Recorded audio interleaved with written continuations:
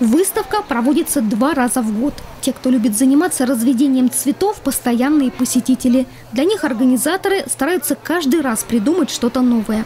Этой осенью пригласили в Сочи майкопских селекционеров, которые выращивают необычные сорта цитрусовых. Например, цитрон под названием «Рука Будды». Это селекция итальянская, э, сорт рука Будды называется. Это цитрон, то есть ну, что-то между лимоном, больше на цедру идет. Внутренности очень мало, но цедра очень э, много витаминов содержит.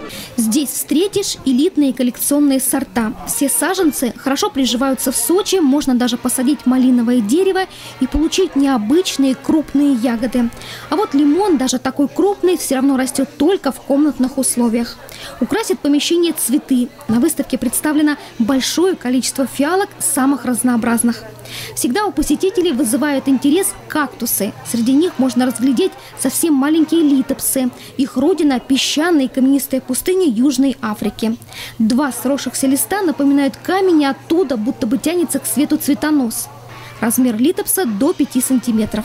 Это всегда фиалки, это очень много бегоний, это очень много э, экзотов, очень много цикламенов. Сейчас как раз время для цикламенов, начинается их цветение. Очень много растений интересных. И вплоть вот э, новая коллекция цитрусовых, которые точно так же выращиваются дома. Апельсины, мандарины, различные цитроны. Много растений для декоративного оформления участка. Это ряд сортов мискантуса. Они любят южное солнце и легко приживаются на побережье. Довольно нетребовательные растения, но любят свежую и влажную почву. Приготовили коллекцию из искусственных цветов. Венки, ободочки, заколки. Причем одни венки символизируют российский триколор, другие напоминают о Краснодарском крае. Елена Овсецина, Демид Даниловский, телекомпания «ФКТ».